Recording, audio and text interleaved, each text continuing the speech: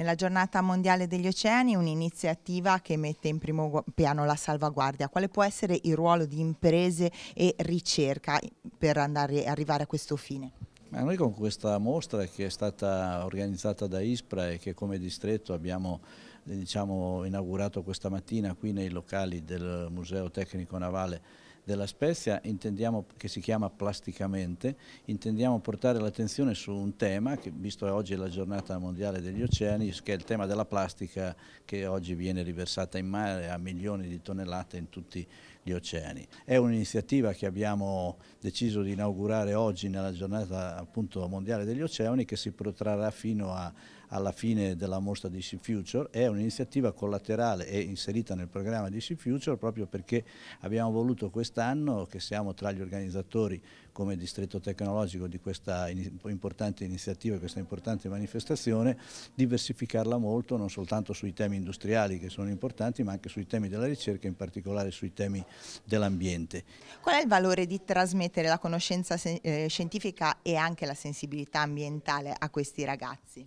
Allora è un valore assolutamente inestimabile, quindi eh, con questa mostra che è stata ideata da ISPRA, quindi dall'Istituto Superiore per la Ricerca Ambientale, la sede di Chioggia, abbiamo avuto veramente l'opportunità di poter creare diciamo, un piccolo mm, assaggio di quello che dovrebbe essere poi eh, diciamo, una fonte di ispirazione per le giovani generazioni. La mostra, eh, come abbiamo visto stamani, si compone di cinque pannelli che sono illustrati dai ragazzi dell'Istituto Superiore Cappellini Saure e del Liceo Linguistico Mazzini che ci hanno proprio seguito in questa avventura. L'idea è proprio quella di promuovere eh, in tutti i modi quelle che sono le, le famose 5R, quindi ricicla, riusa, eh, riutilizza, ripensa, racconta, perché poi anche il racconto racconto importante, queste giovani generazioni devono ascoltare il nostro racconto e riuscire a capire anche come pensare un loro futuro per poter cercare di ridurre non, sol non soltanto la plastica, ma anche pensare di nuovi materiali che siano effettivamente biodegradabili. Quali sono le principali conseguenze negative di questa iperproduzione di plastica nell'ambiente?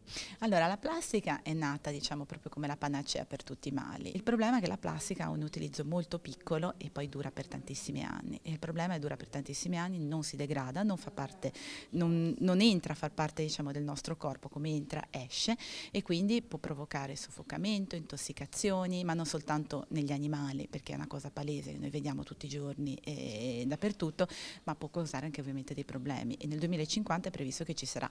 più plastica che pesci in mare, la stiamo già mangiando questa plastica.